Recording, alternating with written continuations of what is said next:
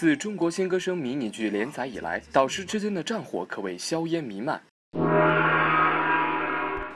有 freestyle 吗？涮涮涮涮涮涮涮涮涮羊肉，你吃我吃 你吃我吃又又又。你唱的是什么东西啊？不过我觉得这个好像是今年蛮流行的鬼畜式老舍，是吧？我那英腰果被你们三个给剃光头了，后几场你可就看不见我了。见见不到你挺好的、啊。情歌天王、情歌天后，你们天王天后 PK，这可是今年热门话题呢。中国风鼻祖，那不就是我吗？奇怪。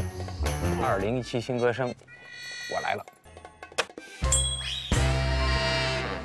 而杰伦和伊森这对多年好友，竟也为冠军导师之作反目成仇。